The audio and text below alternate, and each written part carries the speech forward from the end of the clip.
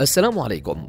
سنتابع من خلال هذا الفيديو جولة تعريفية ل Creator Studio بشكله الجديد أو استوديو مبدعي المحتوى بشكله الجديد الذي يقدمه يوتيوب بشكل تجريبي.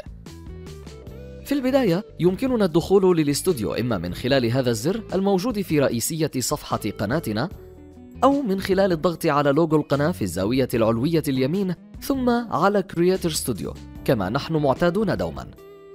نجد هنا أولا رسالة من يوتيوب يقول فيها مبروك يمكنك الآن الدخول لاستوديو مبدعي المحتوى بشكله التجريبي الجديد. طبعا هذا الشكل ربما لم يتفعل عند الجميع لغاية الآن وإنما يتم تفعيله بشكل تدريجي عند بعض القنوات ثم غيرها وغيرها وهكذا. للدخول لهذه الواجهات الجديدة إما نضغط على Try It هنا في هذه الرسالة أو من أسفل يسار الصفحة نضغط على YouTube Studio beta. هذه هي واجهة الاستوديو الجديدة التي يقدمها يوتيوب. كما تشاهدون في القائمة اليسارية ما هو متاح إلى الآن؟ ال videos ال analytics أو التحليلات والإحصائيات ال comments أو التعليقات missing features أو ميزات قيد الإنجاز. لا زالت يوتيوب تعمل عليها وستكون متوفرة قريبا إن شاء الله مثل قوائم التشغيل والبث المباشر وغيرها. جولة سريعة. أصبحت الفيديوهات معروضة بهذا الشكل. هنا حالة الفيديو ونستطيع تعديلها مباشرة بالضغط على أيقونة القلم عند الحالة وتغييرها. حالة تحقيق الدخل.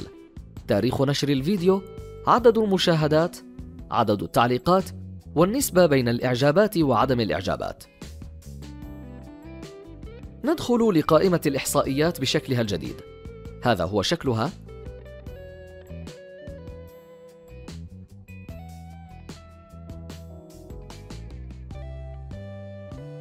مثلا هنا الديسكفريز الأودينس.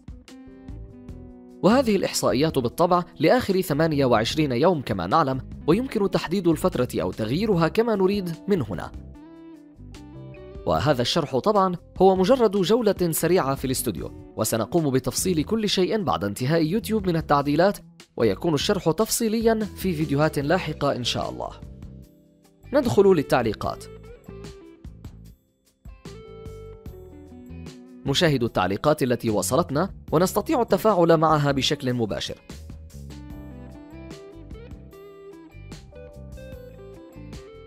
ومن هذه النقاط يمكننا اختيار المزيد من الخيارات.